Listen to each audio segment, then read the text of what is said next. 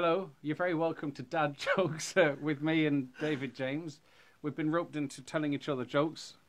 And what's the rules? Well, I feel a, a wee bit. This is unjust. You have an unfair advantage. Because I'm funny and you're not. No, because it's dad jokes and you're dad and I'm not. I mean, look at you, you even dressed like a dad. Thanks very much. I hope that's not one of your jokes. That's 1 0 to me.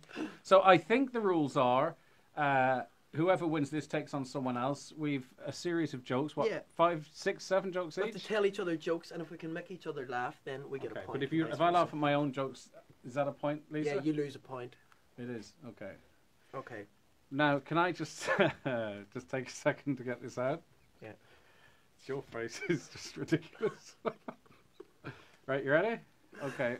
Okay. You go first. Oh, you want me to go Mhm. first?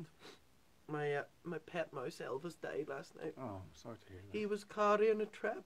That's that's not very good. That at all. that's one to me.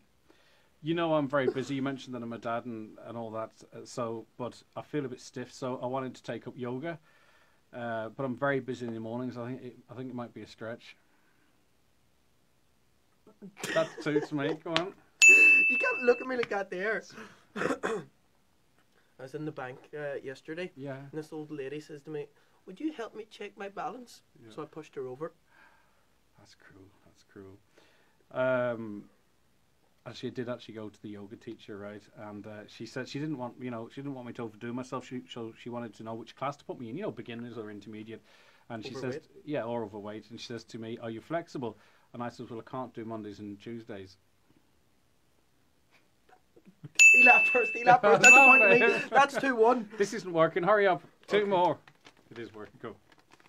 It's very windy outside today, Yeah? Greg. Yeah, Right, it's, go it's on. not windy. It even blew the hat off my head.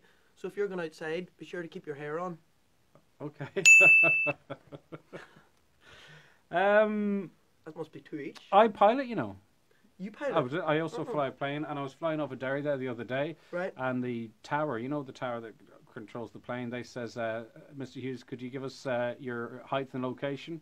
I says, five foot eleven and in the cockpit."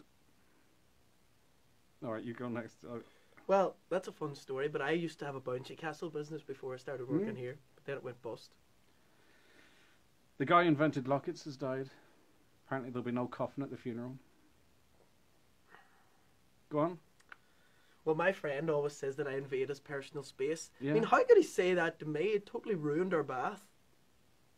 I'll give that. That would be two two. I've got That's to, three two to me. Okay, I bought two goldfish, and I called one of them two, right? I called one of them one and the other one two. So if one dies, I've got two, and if two dies, I've still got one.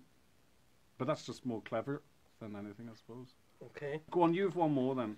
What's Beethoven's favorite fruit? Don't know he laughed. Right, my last one. Carrot died. There was a big turn up at the funeral. God. Have you heard that one? Please help. Right. Greg won. Greg. What? Okay, well, that's, that's that. Congratulations. That, you can't even do that. Well that is ridiculous. Well I demand a review. Yeah, but you video. can put more marshmallows in your mouth, so there you go. You're not a bad old dad.